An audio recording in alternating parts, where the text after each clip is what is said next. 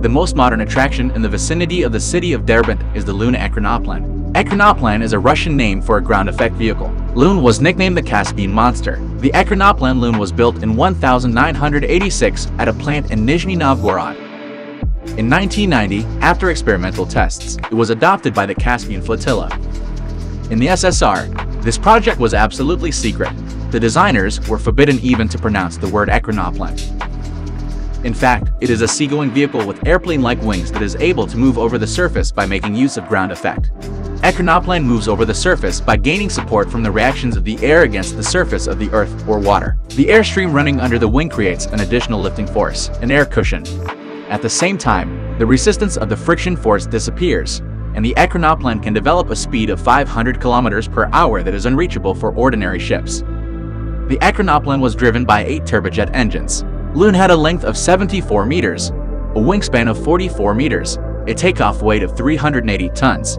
Therefore, it turned out to be clearly distinguishable in photographs taken by American satellites from space. For its gigantic dimensions, the Ekranoplan received the unofficial name Caspian Monster.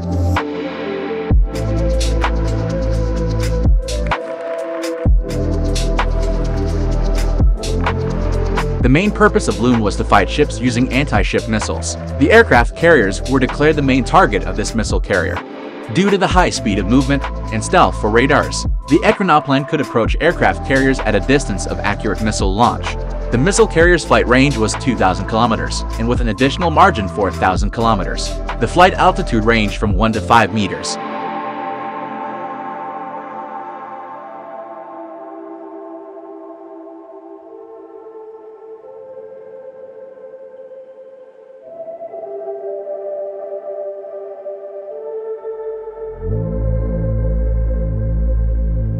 The Ekranoplan could take off and land on water in a 5-point storm with a wave height of 2.5 meters. Unlike ships, he could easily fly over minefields at sea.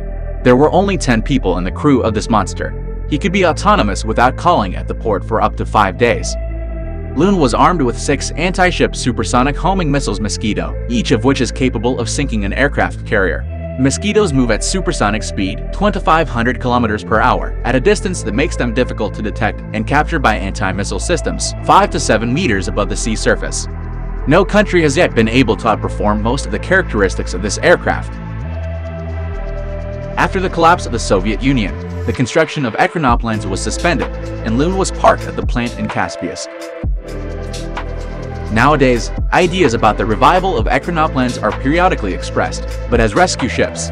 After all, no seagoing vessel will reach a ship in distress as quickly as an Ekranoplan. Fortunately, Lun was not cut into scrap metal, and now this unique ship will be a museum piece in an under construction park in the vicinity of Derbent.